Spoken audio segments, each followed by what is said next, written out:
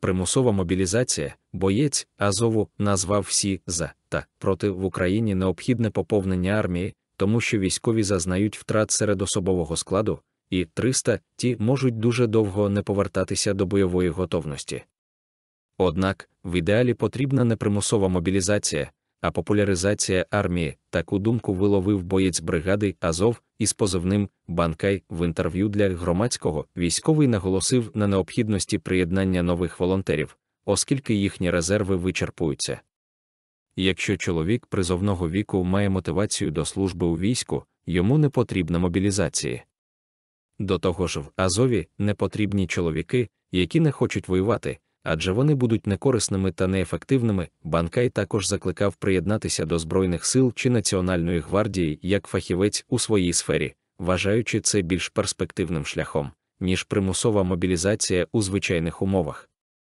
Я підтримую те, щоб уникати примусової мобілізації, але якщо виникне критична ситуація, то, мабуть, вона буде необхідною, підбив підсумок боєць, хто зможе отримати відстрочку від мобілізації за новим законопроєктом. Раніше ми писали, що проєкт закону, прийнятий на першому читанні, залишає для деяких категорій громадян право на відстрочку від мобілізації, зокрема для заброньованих за органами держвлади, підприємствами, установами та організаціями осіб з інвалідністю на 6-12 місяців перепроходженням ВЛК, опікунів піклувальників прийомних батьків, батьків-вихователів дітей з інвалідністю, опікунів піклувальників прийомних батьків, батьків-вихователів дітей з тяжкими захворюваннями, жінок-чоловіків з повнолітньою дитиною інвалідом першої та другої групи, опікунів піклувальників прийомних батьків, батьків-вихователів патронатних вихователів дітей-сиріт дітей, позбавлених батьківського піклування до 18 років, жінок-чоловіків з неповнолітньою дитиною,